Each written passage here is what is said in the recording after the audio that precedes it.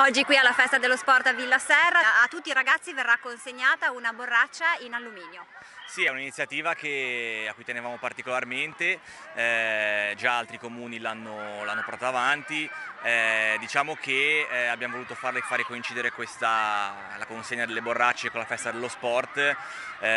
perché siamo fermamente convinti, teniamo molto al fatto che i nostri ragazzi, che l'educativa ambientale parti, parta proprio da, eh, dai bambini, da, dai ragazzini ehm, è coincisa questa festa dello sport, questa consegna delle borracce con eh, la settimana dell'ambiente, questo appuntamento eh, all'ONU in cui una, proprio una, una, ragazzina di 16 anni ha dato un messaggio molto forte a,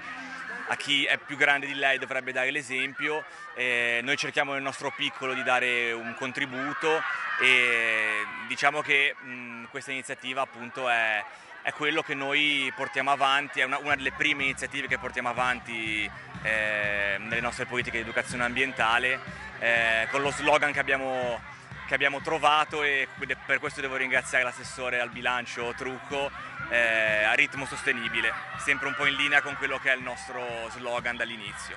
Quindi noi siamo, siamo contenti di essere qui oggi, di fare questa festa, di dare questo, questo piccolo regalo ai nostri ragazzi. Eh, questa festa è l'esempio di come questa amministrazione stia lavorando in questi, eh, in questi mesi, in questi primi giorni di mandato, eh, di come questo gruppo sia unito e tutti gli assessori, a partire oggi dal nostro consigliere delegato allo sport Simone Giacobbe, eh, abbiano portato avanti progetti e porteranno avanti progetti di spessore per il nostro comune.